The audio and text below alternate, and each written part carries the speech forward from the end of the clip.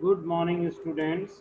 Today we will discuss CPU scheduling in the operating system. CPU scheduling is a very important concept. Almost uh, all programs have some alternating cycle of CPU, you know, number crunching and waiting for input output of some kind. Even a simple fetch from memory takes a long time relative to CPU speed. In a simple system running a single process, the time spent waiting for input output is wasted. So, in this way, we will discuss CPU scheduling. So the uh, in the first thing we will discuss the basic concepts of um, CPU scheduling. What is a CPU burst? We will discuss. What is input output burst? What is a CPU scheduler? And in that we will also discuss primitive and non-primitive scheduling. We will also discuss dispatcher scheduling criteria. So as I have told you, in a very simple system, running a single process, the time spent waiting for input output is wasted. Sometimes what happens, the CPU is, you know, waiting for input output and that time is wasted for the CPU. And those CPU cycles are lost forever the cycles are lost forever. However, the basic concept of CPU scheduling is the maximum CPU utilization to improve multi-programming. We will also discuss this CPU input output burst cycle. Process execution uh, consists of a cycle of CPU execution and input output bit you know you will have to combine these two uh, CPU burst cycle and input output burst cycle. Then it will be a process execution consist of a cycle of CPU execution and input output bit. So a scheduling system allows one process to use the CPU while another is waiting for input output, thereby making full use of otherwise we will lost CPU cycles. So what happens? There could be a lot of processes. One process is utilizing of the CPU time and at the same time other processes are waiting for input output. So in this way CPU you know utilization can be increased. The challenge is to make the overall system as efficient and fair as possible subject to uh, varying and uh, often dynamic conditions and where efficient and fair are somewhat subjective terms. So often subject to shifting priority policy.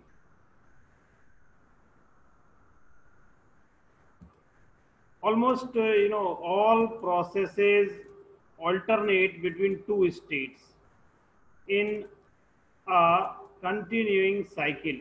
So a process can be in a two, you can say, uh, continuing cycle state. One is called CPU burst and another is called input output burst. CPU burst of performing calculations and an input output burst waiting for data transfer in or out of the system. So that is CPU burst for performing calculation and input output burst for uh, data transfer in or out of the system. You can see a diagram between this uh, frequency and burst duration frequency and burst duration. So you can see sometimes after this its uh, utilization is very less. Burst duration in milliseconds.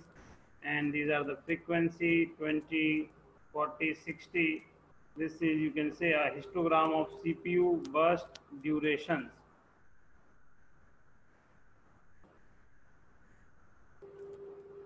you can also say uh, alternative sequence of cpu and input output burst First of all, we are seeing in this diagram that CPU is loading, load, store, add, store, read from file, something it is doing.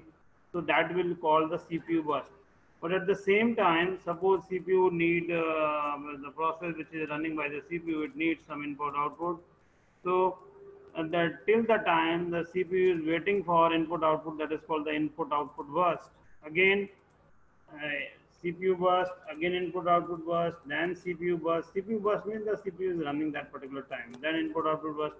If it is happens, then a lot of time is waiting for the input output burst. That is why what we are doing, we are providing a lot of process to the CPU so that CPU utilization can be um, high. CPU burst vary from process to process and from program to program. But an extensive uh, study shows that you know the frequency pattern is uh, similar to what we have discussed in this uh, this uh, previous figure. Okay? So this is the you know you can say a frequency pattern. Now uh, we will see what is the cpu scheduler whenever the CPU becomes idle, it is the job of the CPU scheduler to take the short-term scheduler or to select another process from the ready queue to run next. The storage structure for the ready queue and the algorithm used to select the next process are not necessarily a FIFO. There are several alternatives to choose from as well as numerous adjustable parameters for each algorithm, which is the basic subject uh, of this, you know, this CPU scheduling, what, uh, you know, you can say the basic CPU scheduling algorithm. So what CPU scheduler is do, it will select from among the processes in memory that are ready to execute and allocate the CPU to one of them. CPU scheduling decisions may take place when a process switches from running to waiting state, switches from running to ready state, switching from waiting to ready state, or the process terminates. So, scheduling under 1 and 4 is non-preemptive.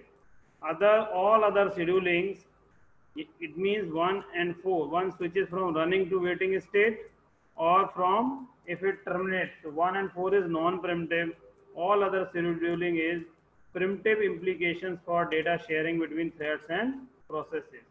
So here we have used two terms. One is called the preemptive scheduling CPU scheduling decision take place under one of four conditions. Number one, when a process switches from the, as we have discussed earlier, switches from the running to running state to a waiting state, such as for an input output request or invocation of the wait system call.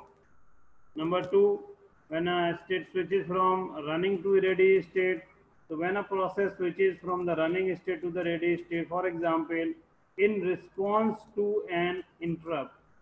Number three, when a process switches from the waiting state to the ready state, say at completion of input output or a return from wait. And fourth one, when a process terminates. For condition one and four, there is no choice. A new process must be selected. For condition 2 and 3, there is a choice to either continue running the current process or select a different one. If scheduling takes place Only under condition 1 and 4, the system is said to be non-primitive or cooperative. Under these conditions, once a process starts running, it keeps running until it either voluntary blocks or until it finishes. Otherwise, the system is said to be primitive.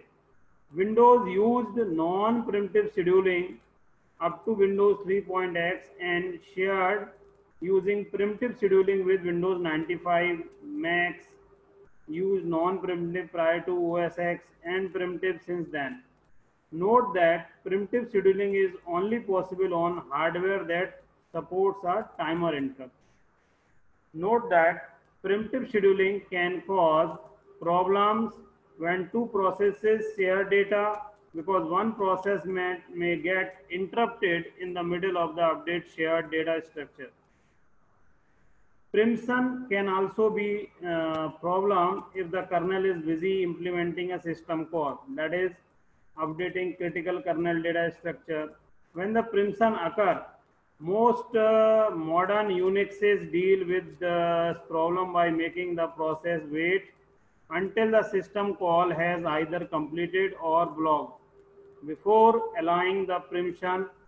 Unfortunately, this solution is problematic for real-time system as real-time response can no longer be guaranteed.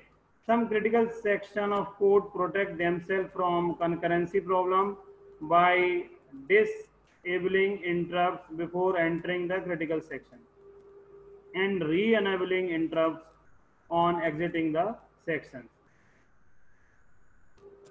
Needless to say that this should only be done in you know rare situation and only on very short piece of code that will finish quickly. Now we'll see dispatcher. The dispatcher is the module that gives control of the CPU to the process selected by the scheduler. This function involves number one, switching context, switching to user mode, jumping to the proper location in the newly loaded program. The dispatcher needs to be as fast as possible as it is run on every context switch. The time consumed by the dispatcher is known as dispatch latency. So dispatch uh, time it takes for the dispatcher to stop one process and starts another running. That is called dispatch latency. Now we will discuss scheduling criteria. What are the uh, criteria? So one is CPU utilization. Ideally, the CPU would be busy 100% of the time so as to waste zero CPU cycle on a real system. CPU usage could range from 40% to 90%. 40% means uh, lightly loaded and 90% means heavily loaded. Throughput. Throughput means the number of processes that complete their execution per unit time may range from 10 per second and 1 per hour depending on the specific process. Turnaround time is amount of time to execute a particular process. From submission time to completion. Mean to say when you are uh, submitting a process, till it complete. That is called a turnaround time. Waiting time, how much time processes spent in ready queue waiting their turn to get on the CPU. So how, you know, in this waiting time, how you will calculate the load average, the average number of processes sitting in the ready queue, waiting their turn to get into the CPU, reported in 1 minute, 5 minute and 15 minutes, average by uptime and so on. Response time, the time taken in an interactive program from the issuance of a command to the commands of a response of that command. In general, one wants to optimize the average value of a criteria, maximize CPU utilization and throughput, and minimize all the others. However, sometimes one wants to do something different such as to minimize the maximum response time. Sometimes it is most desirable to minimize the variance of a criteria than the actual value. That is, users are more accepting of a consistent predictable system than an inconsistent one, even if it is a little bit slower. So this these are all all five, you know, the scheduling criteria that CPU schedule uh, CPU utilization should be high, throughput, uh, throughput, you know, the number of processes completed per unit time, turnaround time, waiting time, and response time. These all are the scheduling criteria. These are some references. And thank you. In the next, uh, we will discuss the different scheduling algorithms. Different scheduling. Thank you.